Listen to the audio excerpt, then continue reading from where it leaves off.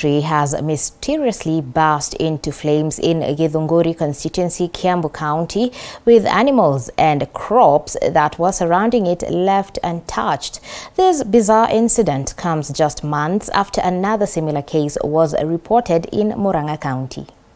For years, the Mugumu tree has occupied a mythical place among the Agikuyu community, with them considering it as a sacred place of worship, with others believing that the spirits of their ancestors dwell there. Wasee walikuwa kuombea hapa Eh, kulingana na ya wasee wale wamebaki.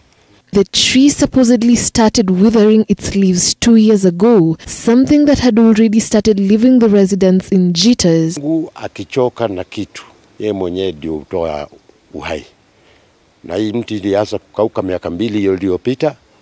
Kwa hivyo imeanza kufa polepole polepole pole. According to testimonies by the Agikuyu elders, the tree started burning from the top before it went up all in ashes, with plants and animals that were in its vicinity untouched. Ilia- Ilionekana ilianza juu na hakuna mtu ambaye aliakisha, walistukia tu kuona moto na ikaendelea ikiteremuka. hata ile boga imepandwa hapa, kila kitu, hakuna kitu kimeharibika. Kwa hivyo hii ni maneno ya Mwenyezi Mungu.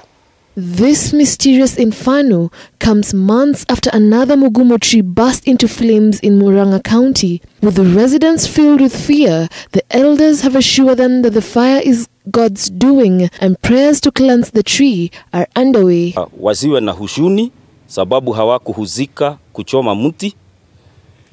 Tutakuja tukae chini nao na tutoe dhabihu ile inastahili kama jamii ya Wakikuyu.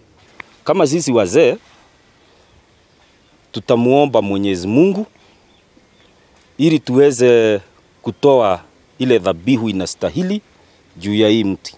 Kuna sherehe tunatakiwa kufanyia kwenye hii boma na kubariki